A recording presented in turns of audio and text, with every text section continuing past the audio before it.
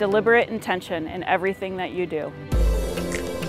A perfect effort in and of itself is simply that devoted intention of every day coming to work and putting your best foot forward. So to do that as a WIP coordinator, that all of my inmates are in meaningful positions in meaningful program and that I can take accountability for and with them in their personal growth.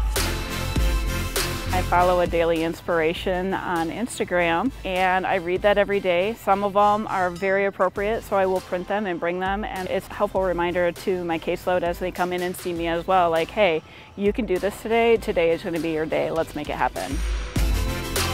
Well, we work as a team here and I feel very supported by my current administration and I am absolutely in love with my job every single day.